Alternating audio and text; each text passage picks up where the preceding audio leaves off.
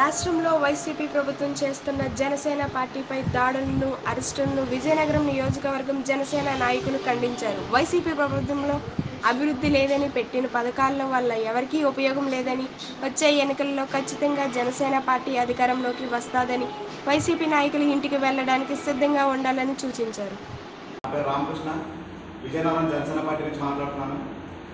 YCP ప్రభుత్వం మొన్న పవన్ కళ్యాణ్ గారు ఉత్తరాంధ్ర పర్యటనలో భాగంగా భారీ ర్యాలీ నిర్వహించడం జరిగింది.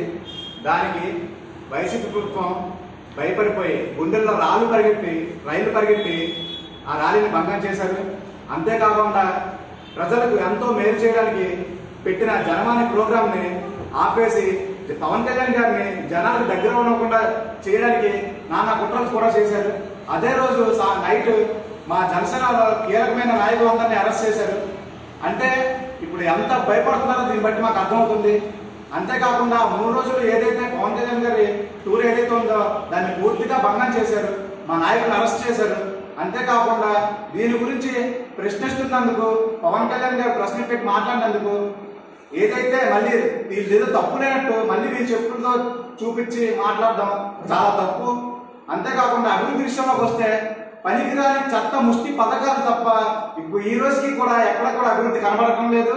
ఎక్కడ చూసినా రోడ్లు లేవు మంచి కొలే సదుపాయాలు లేవు.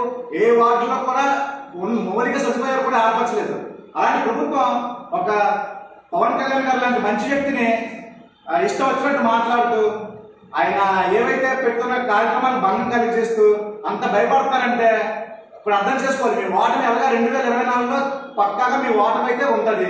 నూట డెబ్బై ఐదు నూట డెబ్బై ఐదు స్థానాలు ఉన్నాడు ఒక్క సీటు కూడా గెలలేరు. వైసీపీ ప్రభుత్వం ఒక్క సీటు కూడా గెలలేరు. ఆ నూట డెబ్బై ఐదు స్థానాల్లో కూడా జనసేన గెలుస్తుంది. ఖచ్చితంగా మీరు గుర్తుపెట్టుకోండి. మీరు దిగబోయే రోజులు దగ్గర ఉన్నాయి. సో ఇంకోసారి మా నాయకు మా నాయకు మా నాయకుడి మీద వస్తే మాత్రం మేము ఊరుకునే ప్రసక్తి అయితే లేదు.